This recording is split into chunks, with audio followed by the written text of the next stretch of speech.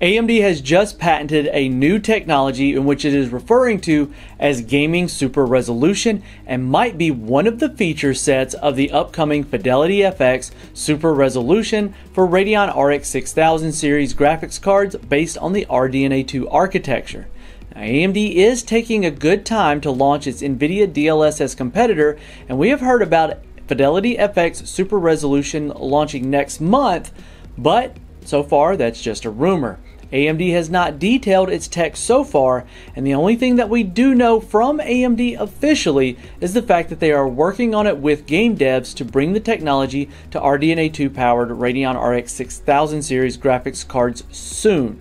Now, in the latest patent, AMD talks about its gaming super resolution, which is based on GPU inference and allows images on display to be upscaled to provide better visual fidelity.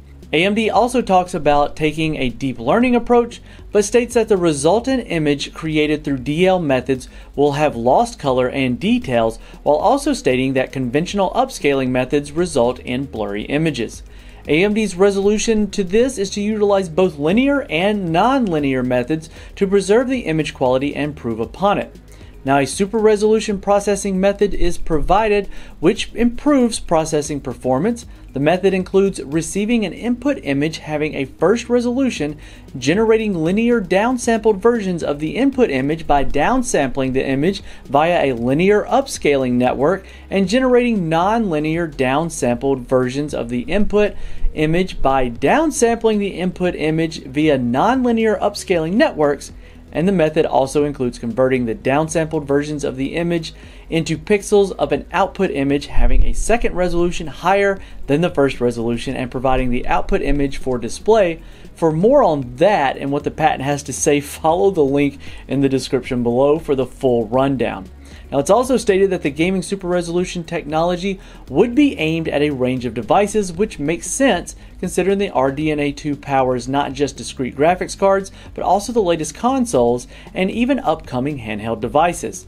Now, what remains to be seen as to whether GSR will be a branch of FSR or it will be a completely different technology. With that said, AMD has a lot to prove as NVIDIA's DLSS is in its 2.1 revision and has shown tremendous improvements over its first iteration of DLSS 1.0 that is being implemented in several current and next generation AAA titles, whereas AMD, on the other hand, has not even announced a single title that would support its technology. However, that may change very soon. I want to thank you for making it to the end of this video. If you like what you've seen here and you like getting news daily, make sure you hit that subscribe button down there in the corner. And if you've missed out on news in the past and you want to catch those, check out one of these videos over here.